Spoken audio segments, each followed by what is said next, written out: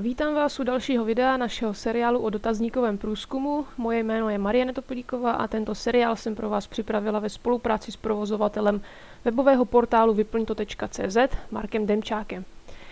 Dnes máme na programu seznámení se s dotazníkem pro náš výzkum a jinými slovy opouštíme na chvíli bezpečný teoretický přístav a pouštíme se do rozbouřených neprobáraných vod marketingové praxe – Dotazník, který jsem pro tuto příležitost připravila, se týká měření spokojenosti zákazníků na trhu kin. Schválně jsem volila takové všeobecné téma, na které může odpovědět téměř každý. Nicméně ten postup u měření spokojenosti je víceméně stejný, ať už budete zjišťovat spokojenost s jakoukoliv jinou službou nebo produktem. Ze všeho nejdříve se s dotazníkem seznámíme, projdeme si postupně jednotlivé otázky a řekneme si k ním pár připomínek co je to za otázku, jaký typ proměné představuje, na co si dát pozor a tak dále. Myslím, že každý byl někdy v kině, i když e, už tam třeba nechodí tak často, proto je dotazník připraven tak, aby na něj mohl odpovědět jak člověk, který chodí do kina každou chvíli, tak někdo, kdo už tam nebyl pár let. E, pokud nebudete mít vybranou skupinu respondentů, u nichž budete vědět, že se jich toto téma bezprostředně týká, a kterým pak pošlete přímý odkaz na dotazník, tak musíte počítat s možností, že vám na ten dotazník může odpovědět kdokoliv. A tomu otázky a strukturu dotazníku přizpůsobit. Pokud například umístíte dotazník do veřejného seznamu aktuálních dotazníků k vyplnění na vyplnto.cz nebo dáte link na svou zeď na Facebooku, musíte počítat s tím, že ho opravdu může vyplnit kdokoliv – v našem dotazníku si ukážeme právě takové případy únikových otázek pro někoho, koho se následující část netýká. Takovým otázkám říkáme filtrační. Fungují vlastně jako takové rozcestí. Část respondentů pošleme jedním směrem a část zase druhým směrem. Takže, hned první otázka v našem dotazníku je filtrační. Odfiltruje nám respondenty na ty, kteří chodí do kina rádi a kteří ne. Ti první jsou pro nás stěžení, pro něj jsme dotazník připravovali, takže je pustíme dále. Ty druhé nebudeme okrádat o čas a rovnou je pošleme ukončit dotazník. Přičemž odpoví pouze na otázku, z jakého důvodu neradi chodí do kina. Tím získáme podněty pro opatření, která může kino podniknout, aby některé z těchto lidí přitáhla, ale to samozřejmě záleží na povaze těch faktorů, které jim vadí. Takže první otázka je filtrační, ale také uzavřená, nominální, alternativní, čili vybíráme z možností, které se navzájem vylučují. Druhá otázka je polouzavřená, přičemž respondent může označit více odpovědí. E, zamyslíme se nad tím, co by lidem mohlo u kina vadit, co jim může skazit zážitek z filmu, a uvedeme zde pravděpodobné možnosti, ale samozřejmě ponecháme i možnost uvést vlastní důvod. Takže opět nominální proměna. E, třetí otázka, frekvence návštěvky na uzavřená otázka. E, kategorizovat frekvenci, ať už návštěv, používání produktu, využívání služeb nebo čehokoliv jiného je vždycky celkem fuška. Nejsem si jistá, jestli vůbec existuje nějaké optimální řešení. Záleží, co potřebujete zjistit a jak těsné ty intervaly proto budou. Návštěva kina není pro člověka zrovna e, denodenní aktivitou, proto dáme tu frekvenci trošku širší. E, nám se tady jedná především o to, abychom odlišili lidi, kteří jsou filmoví nadšenci, sledují novinky, chodí do kina často, pro které je návštěva kina běžnou společenskou aktivitou – a lidi, kteří zajdou do kina třeba jenom jednou, dvakrát do roka. E, můžeme pak s nimi totiž pracovat jako se skupinou nadšenců a se skupinou příležitostných návštěvníků a jejich názory srovnávat u dalších otázek. E, jinak je to ordinální proměna, protože ty kategorie lze seřadit podle frekvence návštěv od těch nejfrekventovanějších po ty nejméně časté. Eh, další otázka je taky uzavřená. S kým nejčastěji chodíte do kina? Je mi jasné, že každý občas do kina zajde sám, občas s kamarády, občas s partnerem, ale ta otázka je uzavřená právě proto, abychom dostali tu nejčastější variantu. Eh, maximálně ještě můžeme povolit opratě v tom, že je necháme zaškrtnout dvě varianty, pokud by se někdo opravdu nemohl rozhodnout, zda například chodí častěji s partnerem nebo s kamarády. A možná to taky uděláme, abychom si mohli ukázat, jak zpracovávat uzavřenou otázku s více možnými odpověďmi. Eh, víc už bych ale opravdu nedávala, rozhodně nedávat odpověď něco jako mm, jak kdy, jo, to už bychom tu otázku mohli rovnou vypustit. Eh, pětka, šestka, klasické uzavřené otázky, nominální proměny. Tady myslím, není moc co řešit, takže sedmička, ta je nominální, polouzavřená s výběrem několika možných odpovědí. E, pak ještě osmička uzavřená, nominální. A tím končí taková ta obecnější část dotazníku. A nyní se zaměříme na posuzování dvou konkrétních multikin. Cinestar a Cinemacity. Jsou to dvě sítě multikin, které jsou si poměrně podobné, fungují na podobném systému, tudíž je můžeme dobře porovnávat. Takže devátá otázka je filtrační. Ptáme se respondentů, zda navštívili si Nestar. A ti, co odpoví ano, ať už tam byli jen párkrát nebo častěji, pustíme k další otázce o Sinestaru. A ty ostatní, kteří v Sinestaru nikdy nebyli a proto nám nemůžou říct svůj názor na něj, pošleme až na otázku 17, kde začíná totožná série otázek, ale tentokrát týkající se Cinema City. Tak, teď když jsme si zjistili, že tu máme jen ty, co si Nestar znají, můžeme se ptát na jejich názor na jeho jednotlivé aspekty. E, máme tady první číselnou proměnou. E, chceme, aby napsali číslem přibližnou dojezdovou vzdálenost v kilometrech z místa jejich bydliště do kina Sinestar, které navštěvují nejčastěji, abychom zjistili, jakou vzdálenost jsou lidé ochotni překonat, aby navštívili právě Sinestar. Pak si to můžeme porovnat z pohledu příslušnosti respondentů do jednotlivých krajů České republiky. Tak, tady očekávám hned několik komplikací, protože je to vlastně otevřená otázka. Pokud byste tento dotazník dávali e, lidem pouze v papírové podobě, tak byste se mohli potýkat s problémem, že lidé nebudou přesně vědět, jak tu odpověď zapsat. To znamená, že ten, kdo si přečte a pochopí zadání, napíše jenom číslo, třeba pětku, ale někdo uh, může zapsat 5 kilometrů, jiný napíše cca 5 km, jiný napíše, nevím, další 10 až 12 kilometrů a tak dále. E, tohle všechno by nám pak trochu, no trochu, docela hodně komplikovalo vyhodnocování. A vyplň to .cz nám to trošku usnadní, protože si nastavíme pro odpověď pouze nezáporná čísla, to znamená, že lidé tam nebudou moci vepsat jiné znaky, než je 0, 1, 2, 3, 4, 5, 6, 7, 8, 9, tečka a písmeno E. Takže bude to pořád určitý druh otevřené otázky. Lidé tam budou moci vepsat, co chtějí, jen budou omezeni e, použitím těchto vybraných znaků. E, desetina čísla bohužel nelze vypsat tak, jak jsme na to v České republice zvyklí, tedy s desetinou čárkou. Lze je zapsat jenom s desetinou tečkou, jo, po americkém způsobu.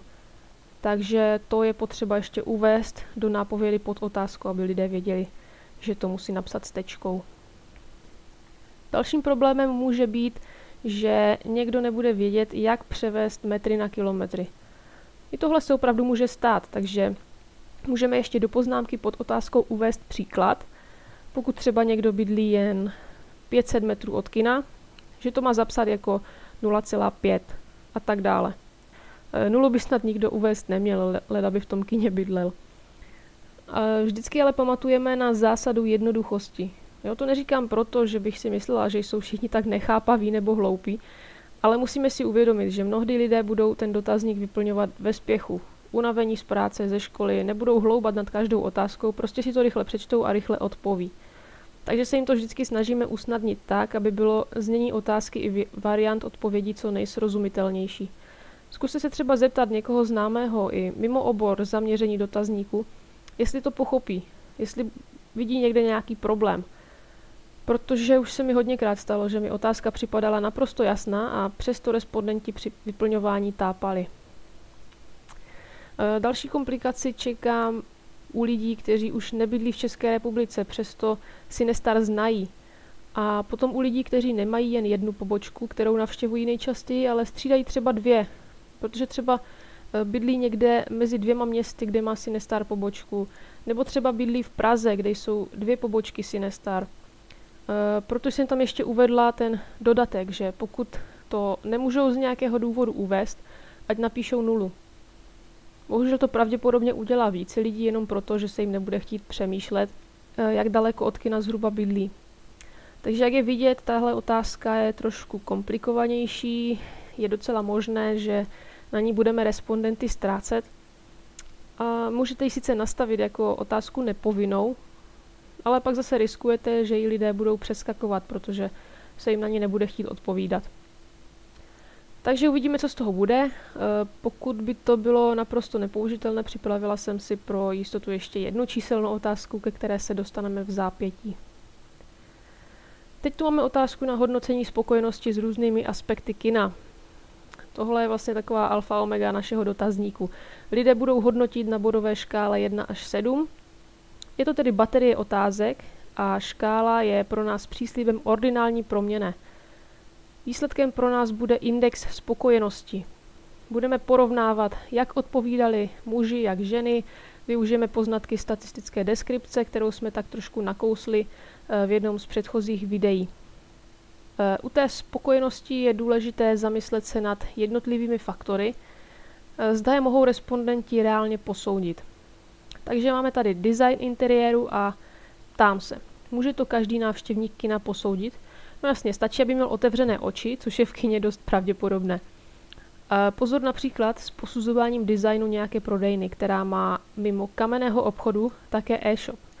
Protože když mají zákazníka, který je sice s firmou a jejími produkty spokojen, ale nakupuje výhradně přes e-shop a nechává si zboží posílat poštou, přičemž kamenou prodejnu nikdy neviděla nic vlaku, tak ten design prodejny těžko posoudí. Takže jdeme dál. Eh, pohodlí sedadel, No, neslyšela jsem o nikom, kdo by sledoval film v kině ve stoje, takže to snad taky může posoudit každý. Výjimkou by snad mohl být jen uh, tělesně postižený člověk na invalidním vozíku. Takže už jenom kvůli tomu bych tam radši tu možnost nemohu posoudit dala. Kvalita obrazu, kvalita zvuku, uh, tak tady už bych si dala pozor, protože zase můžeme mít i diváka, no nejspíš ne úplně slepého, ale třeba s nějakou poruchou zraku či sluchu. Takže tady už bych tu možnost nemohu posoudit, taky klidně nechala. Takže to máme v podstatě tak půl na půl. Na vyplň CZ, ale stejně musíte zadat všechny bodové škály stejné, tedy buď všechny z možností neumím posoudit, nebo všechny bez této možnosti. Což nám nevadí, dáme je všude, uh, ale kdybyste třeba měli papírové dotazníky, tak to můžete mít u některých.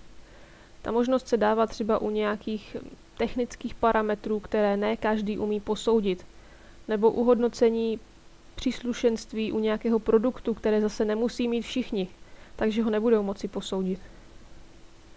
U hodnocení služeb zase posuďte, zda nejsou rozlišeny třeba podle nějakých typů členství, například na členy klubu a běžné zákazníky, kdy členové budou mít přístup k nějaké dodatečné službě, kterou by si běžní zákazníci museli doplácet zvlášť. Jo, takže tímto způsobem je třeba nad tím popřemýšlet. U další otázky máme ty též faktory, avšak teď je mají lidé seřadit podle důležitosti. To znamená, který faktor je pro ně u kina nejdůležitější a který nejméně. Společně s tou předchozí otázkou pak budeme tvořit poziční mapu, která nám ukáže, na které faktory by se kino mělo zaměřit, aby je zlepšilo a které faktory už tak razantně neovlivňují spokojenost návštěvníků kina. Tak, teď tu máme tu další číselnou proměnou, předtím ale ještě je filtrační otázka, zda jsou podle respondentů ceny odpovídající kvalitě služeb multikina. E, ti, co odpoví, že ne, budou ještě dotázáni na optimální cenu vstupného pro dospělého, na klasické 2D promítání v hlavním čase. Tyto požadavky jsou víceméně stejné jako u té předchozí otevřené otázky, takže žádné intervaly, pokud možno celá čísla a tak dále. No a pak jsem ještě přemýšlela, jak do dotazníku zakomponovat semantický diferenciál. A využila jsem to na porovnávání loga obou multikin. Semantický diferenciál se používá k hodnocení dojmů, chutí, postojů, názorů. Máme zde vždycky pár dvou nějakých variant. Moderní proti němu zastaralé, snadno zapamatovatelné proti němu, špatně zapamatovatelné a tak dále. E, mezi nimi bude číselná škála, která může vypadat třeba takto, od trojky do minus trojky, ale samozřejmě bychom mohli použít také sedmibodovou škálu 1 až 7, nebo i jinou škálu, jo? méně bodovou, sudou, to už záleží na vás. E, lidé budou vlastně označovat, ke které variantě se přiklání a jak moc. No a poslední otázku tu máme, zda by lidé Sinestar doporučili známým. A máme tu ordinální škálu, určitě ano, spíše ano, spíše ne, určitě ne. Je to lepší než jen prosté ano, ne, protože budeme-li chtít, tak si i z této škály dokážeme zpětně udělat prostě jen kladné a záporné odpovědi, jako v případě odpovědí ano, ne. Ale takto tu máme i míru tohoto doporučení. Je to pro poskytovatele hodnocených služeb či produktů velmi důležitá otázka. Teď vlastně následuje úplně uh, stejná část otázek nebo série otázek, jako jsme měli u toho Sinestaru, nicméně tentokrát se bude týkat Cinema City.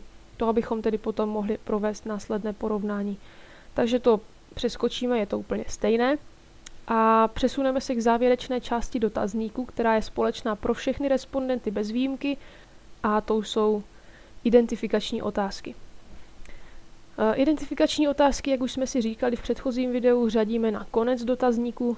Máme tedy samozřejmě otázku na pohlaví respondentů, to je základ, společně s věkem respondentů. Eh, já jsem využila intervalové rozdělení věkových skupin, nicméně můžete použít i vypsání věku číslem, protože to se posléze také dá převést do podoby intervalů. Na druhou stranu, ne každý je ochoten napsat svůj věk konkrétně. Eh, přiřazení do intervalu je pro respondenty zpravidla přijatelnější. U anonymních online průzkumů to není zas až takový problém jako u osobního dotazování, tedy za osobní přítomnosti respondenta. Eh, tam už je určitě lepší využít ty intervaly. Otázka na pohlaví respondentů je alternativní binární proměna nebo také dichotomická proměna, to znamená, že může nabývat pouze dvou hodnot. V tomto případě muž nebo žena. Je to takový poddruh nominálních proměných. E, věk respondentů řešený pomocí intervalu je proměna ordinální, e, jelikož můžeme seřadit skupiny podle věku sestupně nebo vzestupně. Věk vypsaný číslem je číselná spojitá proměna. Dále tu máme identifikační otázku na vzdělání respondentů, ta také patří mezi ty často používané. Je to ordinální proměna, protože jednotlivé stupně můžeme seřadit. E, no a v tomto případě by bylo klidně ještě vhodné přidat otázku na společenský status respondentů. To také mnohdy není snadné sestavit varianty, protože člověk může být zároveň student, přitom podnikat, nebo může být třeba důchodce a přivydělávat si nějakým půl úvazkem. Takže nad touto otázkou je taky potřeba hodně popřemýšlet. Jestli dát jako uzavřenou nebo povolit třeba dvě odpovědi. E, jen tam pro boha nedávajte možnost vlastní odpovědi. To jsem udělala jednou a někteří respondenti byli poměrně sdílní o tom, co právě dělají, čím se živí, nebo co dělali v minulosti a jak to mají teď. No, noční můra to zpracovávat raději sestavit vyčerpávající varianty odpovědí, ať si každý je schopen najít to svoje.